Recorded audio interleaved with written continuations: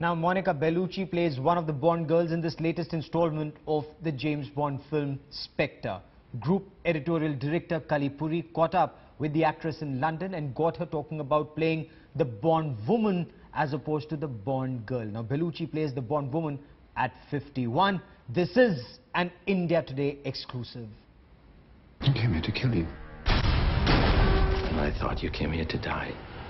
Well, it's all a matter of perspective.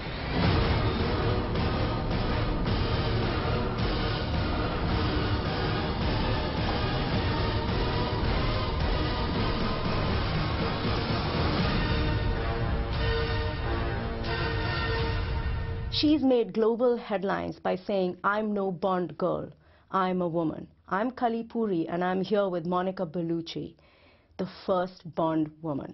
Hello, Monica. How are Hello. you? Are you a Bond fan? I'm a Bond fan because uh, this is a big tradition, not just in England, but all over the world. And I said yes to this project because I wanted to work with Sam Mendes. I respect him so much. And uh, I had the chance to play this key role in a short amount of time where sh Lucia, my character, she gives information to Bond. And through those information, the mission can begin. Did you ever want to be a Bond girl versus a Bond woman?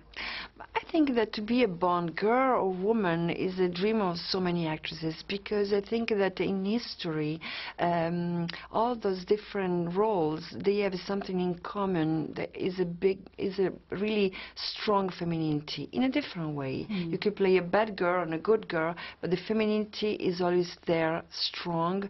And it's the first time that we see a Bond woman in James Bond arms.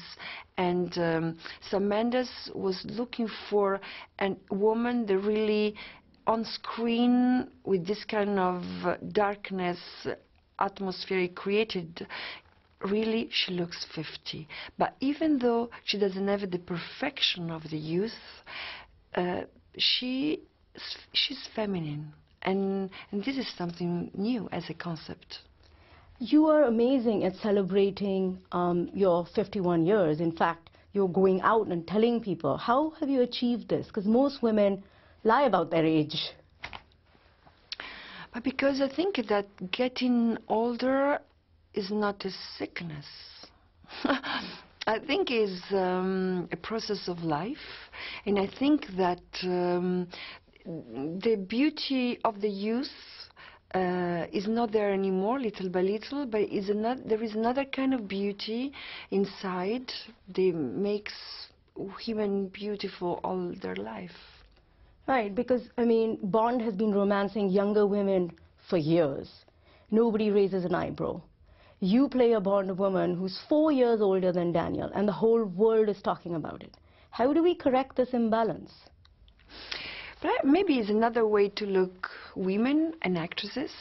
And uh, I live in France, and I've seen, I can see all those incredible actresses like Catherine Deneuve, Nathalie Baye, Isabelle Huppert, and Charlotte Rampling. On here in England, uh, Judi Dench, Helen Mirren—they have amazing roles. So it's uh, really changing the the way how we look actresses and how we look women.